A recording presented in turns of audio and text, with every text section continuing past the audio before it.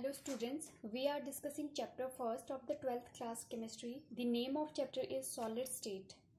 Previous class में हमने बात की थी पॉइंट डिफेक्ट्स के बारे में ठीक है पॉइंट डिफेक्ट्स आपके थ्री टाइप्स के हैं stoichiometric defect non stoichiometric defects और इम्प्योरिटी डिफेक्ट ठीक है प्रीवियस क्लास में हमने स्टडी कर लिया है स्टोक्योमेट्रिक डिफेक्ट्स के बारे में, ठीक है? टू टाइप्स के क्रिस्टल आपकी शो करते हैं आयोनिक और नॉन आयोनिक ठीक है?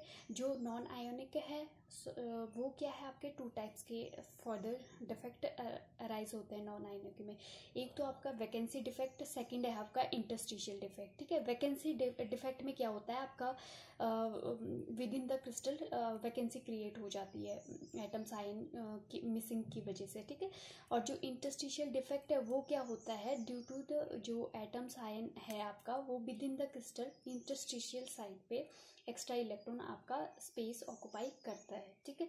तो ये क्या है आपके टू टाइप्स के नॉन आयोनिक में स्टोक्योमेट्रिक डिफेक्ट फिर आयोनिक में कैसे टू टाइप्स के स्कॉटकी और फ्रेंकल स्कॉटकी में शॉर्ट की सॉरी इसमें क्या पढ़ा आपने कि नंबर ऑफ़ इक्वल कैटाइन और एनाइन आपके मिसिंग हो गए. अगर टू कैटाइंस आपके मिसिंग है तो टू एनाइंस भी मिसिंग होंगे स्कॉटकी में। और जो फ्रेंकल में और उसमें क्या है आपके? जो आ, आपका जो आयनिक क्रिस्टल आपके ये शो करते हैं और जो नॉर्मल लैटिस से क्या है आपका कैटायन जो है मिस होगा और इंटरस्टिशियल स्पेस ऑक्यूपाई करेगा, ठीक है? वो क्या है? फ्रेंकल डिफेक्ट, ठीक है? तो यहाँ पे हमने ये स्टडी कर लिया। आज हम बात करेंगे नॉन स्टोक्योमेट्रिक डिफेक्ट्स के बारे में, ठीक है? नॉन स्टोक्योमेट्रिक डिफेक्ट, इसमें क्या होता है कि आपकी जो क्रिस्टल की, अब जो स्टोक्योमेट्रिक में था, वो क्या है आपकी? स्टोक्योमेट्रिक जो है डिस्टर्ब नहीं हो हो रही थी विद इन द क्रिस्टल ठीक है? लेकिन यहाँ पे क्रिस्टल की स्टोक्योमेट्रिक पे इफ़ेक्ट पड़ रहा है, ठीक है? Disturb the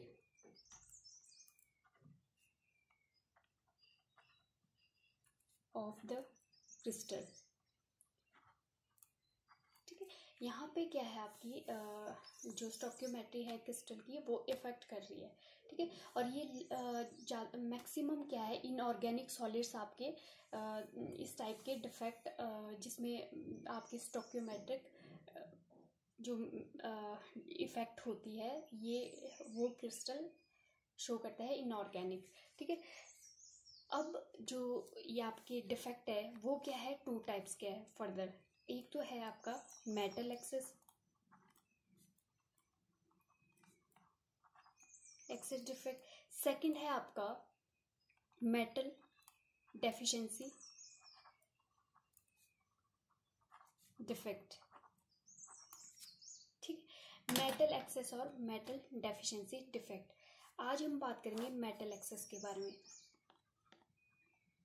metal excess defect अब जो मेटल एक्सेस डिफेक्ट है मीन्स नेम से ही पता लग रहा है कि इसमें क्या है? मेटल आपके एक्सेस में होंगे मीन्स कैटाइंस आपके क्या है? एक्सेस में होंगे, ठीक है? अब जो ये मेटल एक्सेस अब एक्सेस किस टाइप से हो सकता है क्रिस्टल में? या तो बाय एनाइन वैकेंसी ठीक है? या तो हमने एनाइन की वैकेंसी करनी है, ठीक है? मतलब जो नेगेटिव चार्ज है वो उसकी वैकेंसी करनी है, कम करना है, ठीक है? या by the presence of extra cation at interstitial site site ठीक? अब टू पॉसिबिलिटी है आपके। ठीक है? या तो एनाइन की वैकेंसी करनी है क्रिएट या फिर एक्स्ट्रा इलेक्ट्रॉन आपने इंटरस्टिशियल साइड पे रखना है। फ़र्स्ट है आपका एनाइन वैकेंसी ठीक है? यहीं पे साथ साथ हम कर लेंगे by the presence of extra cation in interstitial site, ठीक है? ये टू टाइप से तो यहाँ पे एनाइन वैकेंसी है। एकाइन जो एनाइन वैकेंसी है, आपके पास क्या है?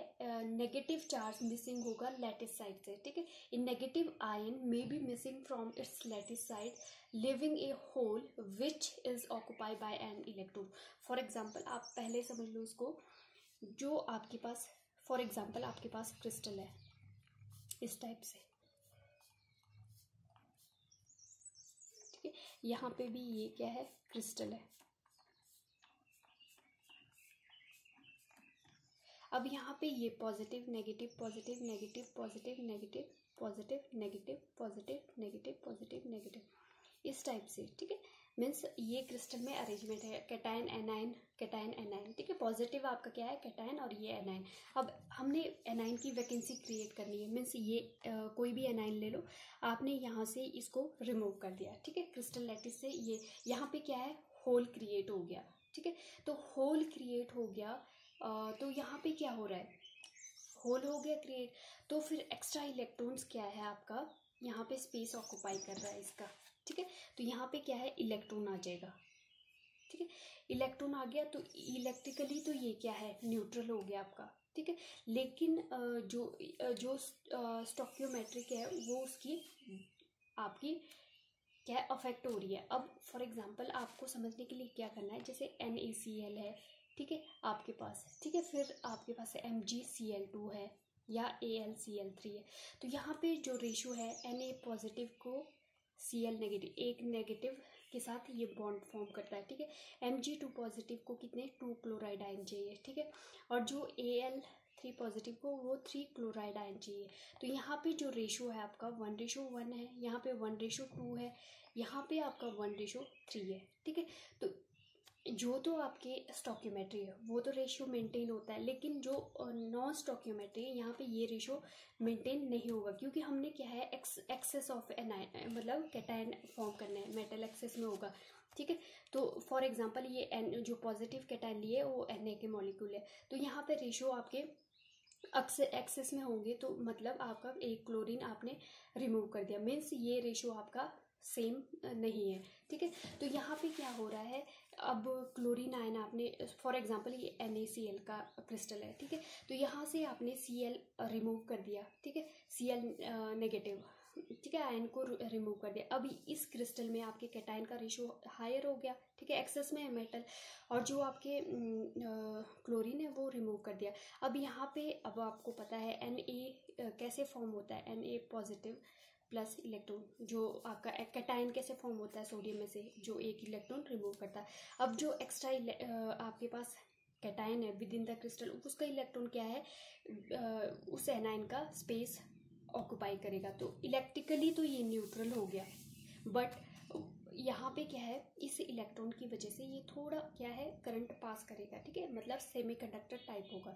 तो ये आपका हो गया एनाइन वैकेंसी के वजह से जो आपका डिफेक्ट क्रिएट हुआ विद इन द क्रिस्टल ठीक है? और इसी को क्या बोलते हैं हम? एफ़ सेंटर ठीक है? एफ़ सेंटर क्या होता है आपका? जो भी आपका, क्या है? एनाइन ड्यू टू मतलब आप क्या बोलेंगे? A negative ion may be missing from the crystal lattice lattice site leaving a hole and which occupied by the an electrons for by maintaining the electrical balance the trapped electron is called F centre मतलब जिस electrons ने, क्या है ये whole की जगह ले ली, उसको क्या बोलते हैं? F centre and due to F centre it contributes the colour within the crystal और इस एफ़ सेंटर की वजह से क्या है? क्रिस्टल में आपका कलर अराइज होता है. फॉर एग्ज़ाम्पल जो आपके alkali halide like N A C L के सी एल ये क्या है? इस टाइप के डिफेक्ट शो करते हैं और ये कलर भी शो करते हैं। नेक्स्ट है आपका by the presence of extra cation in the interstitial side अब आपके पास ये भी आप आ गया आपका क्रिस्टल लैटिस ठीक है, यहाँ पे क्या हो रहा है आपका? एक्स्ट्रा इलेक्ट्रॉन मतलब एक्स्ट्रा जो कैटाइन है वो इंटरस्टिशियल साइड पे आपका प्रेजेंट है। ठीक है इंटरस्टिशियल साइड पे आपका एक्स्ट्रा कैटाइन प्रेजेंट है। प्लस जो आपका इलेक्ट्रॉन भी है, वो भी क्या है इंटरस्टिशियल साइड पे ठीक है? तो यहाँ पे भी क्या है आपका, जो कैटायन है, ठीक है? कैटायन क्या है आपका? इंटरस्टिशियल साइड पे आ गया, ठीक है? एक्स्ट्रा जो बाहर से आपका कैटाइन आया और इंटरस्टिशियल साइड पे स्पेस ऑक्यूपाई कर लिया अब जो विद इन द क्रिस्टल है, वो कैटाइन का रेशो हाइयर है और एनाइन का आपका लोअर है, ठीक है? अब बट इलेक्ट्रिकली क्या है? न्यूट्रल है, क्योंकि इलेक्ट्रॉन क्या है? उस एनाइन के चार्ज को बैलेंस कर रहा है। चार्ज तो सिमिलर हो गया, क्योंकि इलेक्ट्रॉन भी तो नेगेटिव होता है ना। लेकिन एनाइन आपका यहाँ पे अपसेंट है। मतलब स्टोक्योमेट्री यहाँ पे अफेक्ट कर रही है, ठीक है? तो फॉर एग्जांपल जो इस टाइप का इफ़ेक्ट है, वो जिंक क्लोरा जिंक ऑक्साइड आपका फॉर्म करता है, ठीक है? जिंक टू पॉजिटिव आपका इंटरस्टिशियल साइड पे स्पेस कर लेता है इलेक्ट्रॉन आपके यहाँ पे इंटरस्टिशियल साइड पे टू इलेक्ट्रॉन आपके ऑक्यूपाई कर लेंगे विद इन द क्रिस्टल ठीक है? तो इस टाइप से ये हमारे पास टू टाइप्स के डिफेक्ट हैं नॉन स्टोक्योमेट्रिक जो डिफेक्ट है मेटल एक्सेस में हमने स्टडी किया जो आपका एक एनाइन वैकेंसी की वजह से एक आपके केटाइन जो एक्स्ट्रा केटाइन इंटरस्टिशियल साइड पे किस टाइप से आता है, ठीक है? तो इसको हम इस टाइप से भी कैसे the metal excess defect can also be created when the extra positive ion ions occupy some interstitial site and electrons at the some other site to maintain the electrically neutrality of the crystal it suffers from this uh, zinc sulfide suffers from this defect ठीक है इस type से आपका uh, ये non stoichiometric defect के बारे में study किया ठीक है अब कल हम बात करेंगे मेटल डेफिशिएंसी डिफेक्ट के बारे में